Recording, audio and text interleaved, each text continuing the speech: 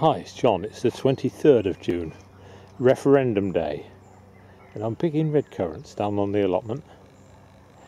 Don't know much about it.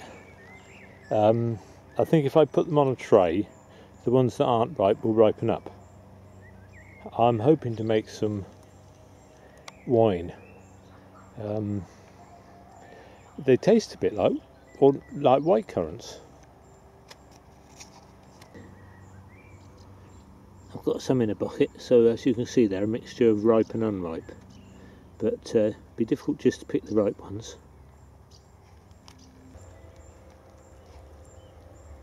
There's a lot of stinging nettles in amongst it, and I'm trying to pull them out as I go.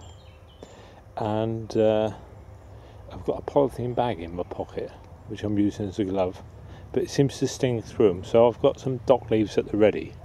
I think dock leaves do work.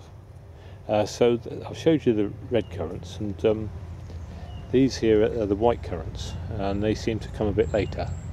Made some white currant wine last year, very nice.